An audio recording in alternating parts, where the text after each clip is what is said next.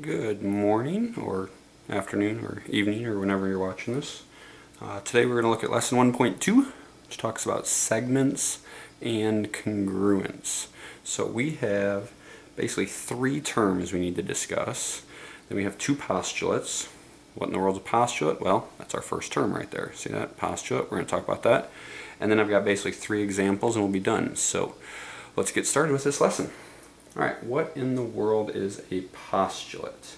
A postulate is sometimes called an axiom as well. We're not going to use that term. Um, we're just going to use postulate throughout our book. But a postulate in geometry is a rule that is accepted without proving it. A rule that is accepted without proving it. And these postulates form the foundation of geometry.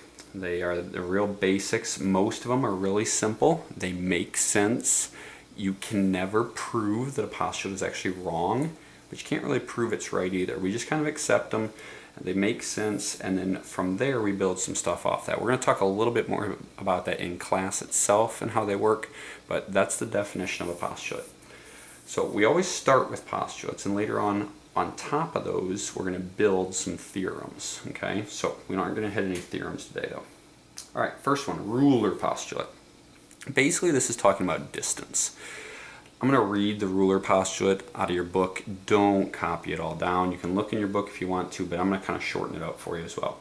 It says in your book that the points on a line, okay, I have a line segment here, but if I were to extend that out with arrows, we'd have a line. The points on a line can be matched with the real numbers. Real numbers would be like on a number line. And the real number that corresponds to a point is the coordinate of that point. Okay, that's all kind of complicated right now. Don't worry about it too much. I'll explain it here in a second. Then it says the distance. Okay, that's what we're talking about here, distance. The distance between two points, we'll call them, the book called them A and B, so I'll just stick with A and B. The distance between two points, A and B, is the absolute value of the difference of those coordinates. So I'm going to get a ruler out. Okay, that's why it's called a ruler postulate. I'm going to show you what's going on here. So you can see, hopefully, pretty well. I'm gonna, I'll start here at the end. So 0, A is right at the 0, and B is out at 3. So we would say that this segment is 3 inches long. Okay, this is the inch side of the ruler. Now what would happen if I kind of moved it over here and I started on the 2 and I ended on the 5? Does that mean now that it's 5 inches long because it ends at the 5? Well, no, that doesn't make any sense. We would subtract, and that's what, remember, it said the distance between the points is the difference Okay, difference means we have to subtract. So 5 minus 2 gives me 3 inches still. And it's really the difference, and it's an absolute value. Because remember, the order of a segment doesn't matter. So what if I did 2 minus 5? Well, that would give me negative 3. Well, negative 3 inches doesn't make sense, so that's why we use absolute value. Remember, absolute value means our answer is going to be positive no matter what. Okay, so 2 minus 5 is negative 3. The absolute value of that is still 3 inches. Doesn't matter where I line it up. What if I went from 4, right, lined up there, 4, right, going out to the 7. 4 minus 7 is negative 3. Absolute value of that, 3 inches. 7 minus 4 is still 3 inches.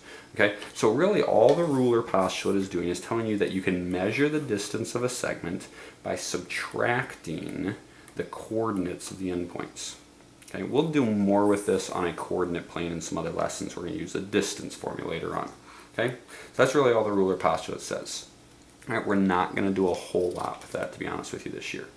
Okay, next, we have the term between. Now, if I say that point, you know, y is between x and z, okay, between implies something. All right, so let's talk about imply. I told you earlier we're going to be learning a lot of English sometimes in geometry.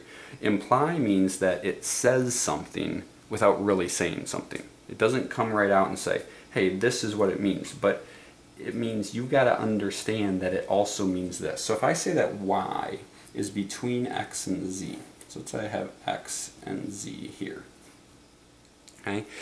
When it's between, y cannot be up here yeah, it's kind of in between them, but not quite. Not with what we want to use this term for. Anytime they say something is between, it implies, it says without saying, that the points are collinear. And we talked about collinear back in the last lesson.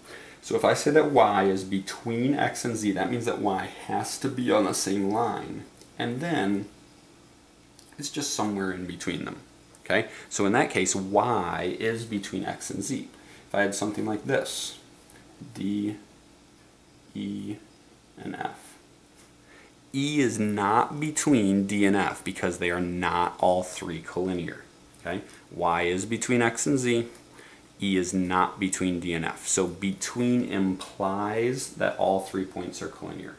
Right? And that's a, a big important thing as we move forward. So if we just say between, we know the points have to be on the same line. Right? We're going to use that word between with our very next postulate. It's called the segment addition postulate. Okay, this is the second postulate.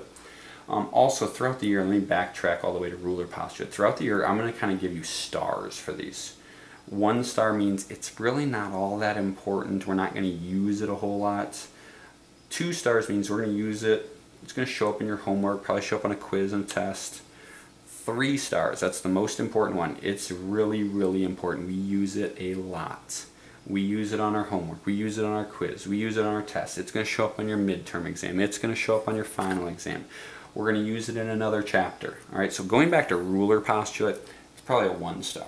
We really don't use it a lot. Okay, segment addition, a little more common, probably two stars. All right, so definitely need to know this. It's definitely going to show up in your homework. You're going to see it on a quiz or a test somewhere. All right, this is what the segment addition postulate says. It says if B is between A and C. Remember, between tells us that they have to be on the same line. And then B is just kind of somewhere in between them. If B is between A and C, then AB plus BC equals AC.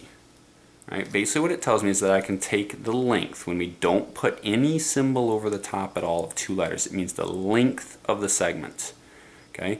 Remember if we just wanted to say the segment, we would put that little symbol without the arrows. With the arrows it would be a line and so on. Without any symbol over the top it means length. So the length of AB, this distance, however many inches or centimeters it is, plus BC, this distance, equals the whole distance here.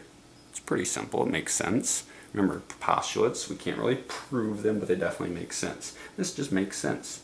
Now, I can't do that. I can't uh, do that if there's a gap. Let me show you what, what I mean real quick. I can't do it if it's something like this. W, X, Y, Z. Okay? You can get that in the picture there.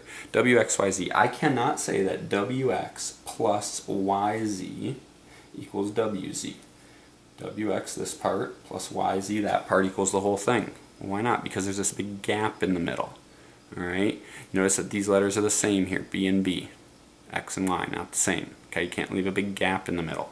We also couldn't do something like this. We couldn't say YW, or WY, the way I wrote it, plus XZ equals WZ. So y, YW or WY, that big thing, and then XZ, that big thing, can't equal the whole thing because we have an overlap section here. Okay, so they can't overlap, they can't leave a gap in there, nothing like that. It has to be AB and then start right away again at B and go to the end. AB plus BC equals AC. This distance plus this distance equals the whole distance. That's what the segment addition postulate says. Basically it says you can add little segments together to get bigger segments as long as they're all in a nice straight line. There's no gaps, there's no overlaps, anything like that. Right? Next term. Congruent segments. You probably have heard this term before, congruent. It means same size, same shape.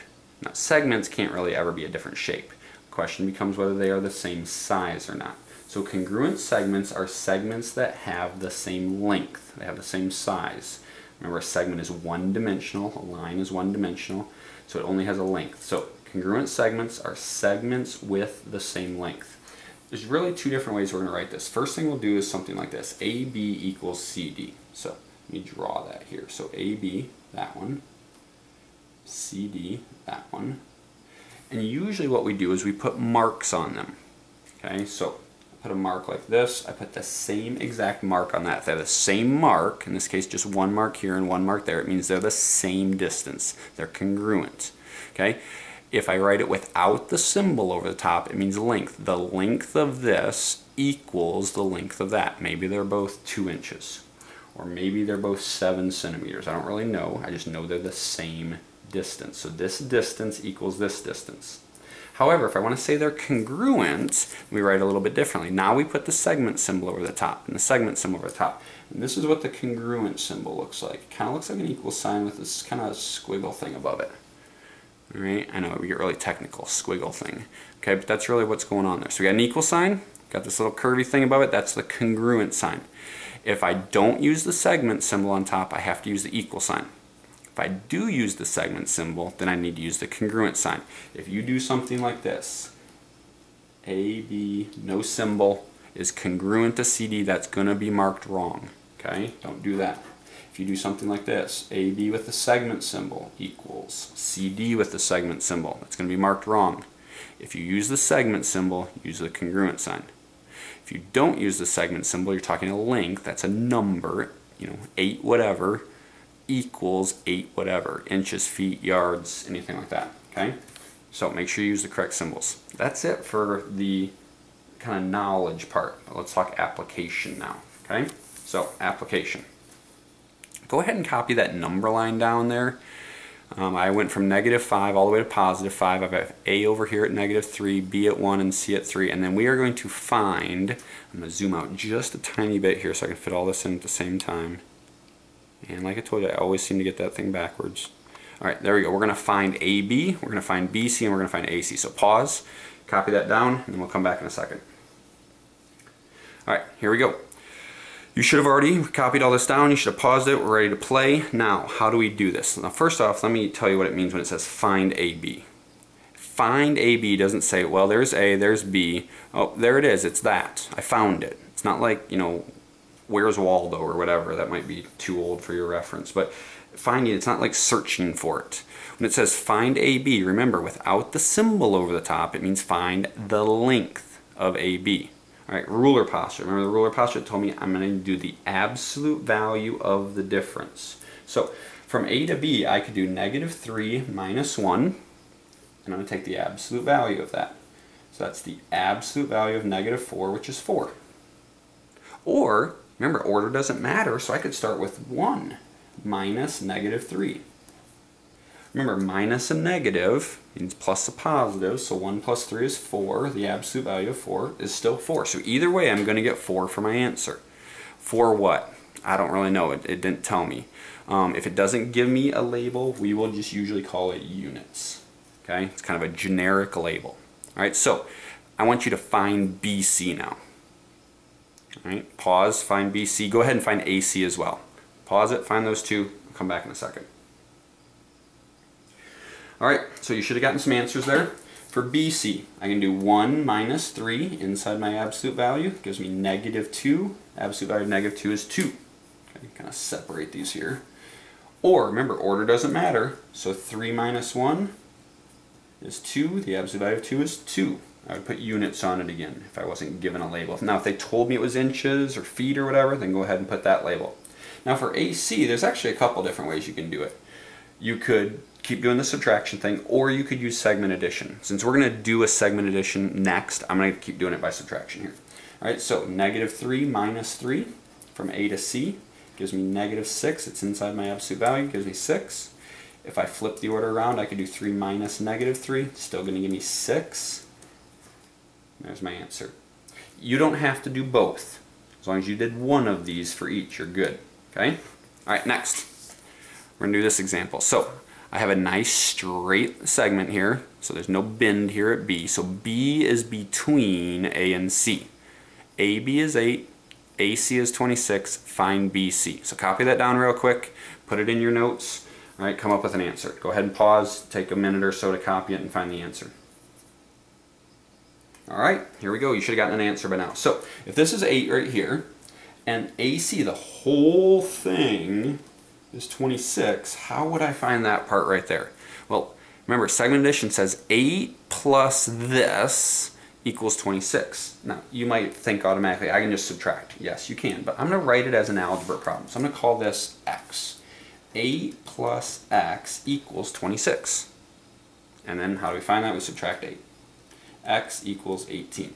Didn't give me a distance, so I'm just going to go ahead and put units on it. Kind of get in this habit of labeling things. And later on when they start giving us labels like feet and inches, already be in that habit of labeling things. So it's 18 whatever. In this case I just call it units. All right, last example and we're done. This one's a little harder. It's still segment addition. All right, so once again, copy this down, pause, attempt it. This one, some of you might struggle with a little bit, I'm not sure. All right, so x, y, z, y is between x and z. xy is 2x plus 3. Go ahead and copy that on there, 2x plus 3. yz, this part, is 3x plus 4. And then the whole thing is 42. Okay, so I want you to figure out how to solve for x and then find yz. Remember, find yz doesn't mean locate it or search for it. It means find the length. Remember, no symbol means length of yz. All right, pause, get that done, come back, and we'll be done. All right, you should have found x. You should have stuck that in, plugged it in, inserted it for x, whatever term you want to use, and then found the length of yz. All right, so how in the world do we find x? How do we solve for x? How do we apply the segment addition postulate? Well, let's go back to this real quick. All right, remember right here, AB plus BC equals AC. That's really all we're going to do. So let's think about that.